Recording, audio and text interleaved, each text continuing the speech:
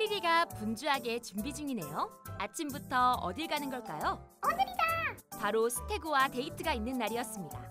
하지만 스테고는 아직도 꿈나라에 있어요. 부지런한 코리리는 일찍 일어나 아침 운동을 하려고 나가네요. 아, 아직도 자고 있는 스테고. 이쯤 되면 일어나야 하는데 큰일이네요. 뭐 있지?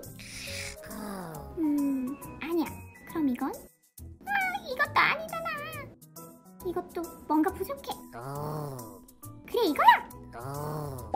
휴, 다행히 스테고가 일어났어요. 빨리 준비하고 나가야 할 텐데 말이에요. 시간이 조금 남았으니 방 정리를 해야겠다.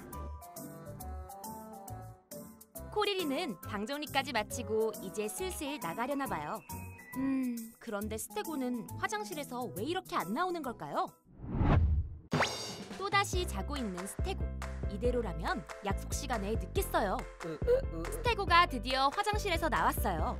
스테고, 지금 빨리 나가야 해. 서둘러. 스테고, 너 지각이야. 코리리한테 늦는다고 연락도 안 했잖아.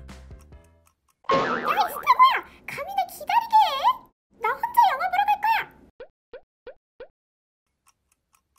으유, 내루 내루. 코리리가 왜 이렇게 안 오지? 스테고는 새벽까지 코리리를 기다렸다고 합니다. 느림보 스테고, 약속 시간은 꼭 지켜야 해.